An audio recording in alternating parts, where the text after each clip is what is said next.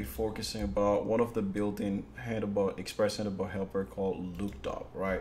So i'm going to go ahead and set up like a route for it. And there we go we set up a route. And this route we can we're gonna render our template. Oops. And this template itself we, we haven't created yet so we're gonna go ahead and create it. It has to be inside a view folder so let's go ahead and do that we're gonna call this one um, look up that that handlebars and here I can say I am the lookup page itself. All right now I'm gonna render this template. It's called lookup so we can just render the template here using this. And I can set up a route like look Cool. So look is going to be where we kind of see this uh, template template engine. A template itself is going to be rendered. So let's go here. Uh, looked. And there we go, ladies and gentlemen. We got our template being rendered, right? But well, let's actually send this value to this template and walk you guys through how how to use uh, the lookup feature itself. Uh, let's say we had it this uh, we had this object this object that we have, it's some, the same object as we previously used in the session. It's called user.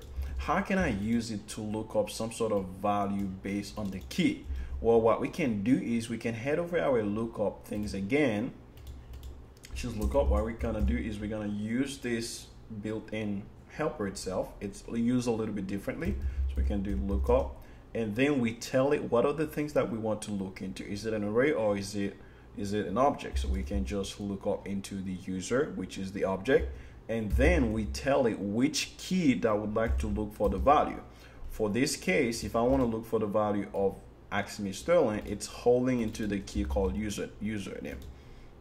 So I can just pass username here, and this will indeed should be returning whatever value the username is using. Check this out. And now I have Accime Esterling itself. Now, if I want to use for different key, I can look for, you know, for phone itself and go ahead and get, you know, whatever value of the phone number. So it's really useful whenever you're using, you're searching for key value pair stuff. Now let's let's take the case of we had an array and we wanted to look for certain index of the array itself. Like we wanted to, uh, let's see what we got over here. So we can have people and there we go. We got our array as well. So let's say we wanted to look for whichever thing that is in the first place. Like we know the length of the array, so we wanted to look for the first item. So what we can do is we can say, all right, let's look for the array. The array itself, it's holding the people. So we're gonna access it by doing people. And then we look in that array and what we want is we want the first item inside the array, which is referring as zero.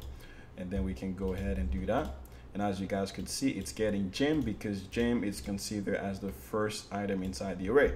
What if we wanted to look for the the the, the third item which is zero one two? So i'll do the same thing as 2 and that's technically gonna get the third item that is inside the array. So this is how the lookup built-in helper works. It's a little bit different than the other one.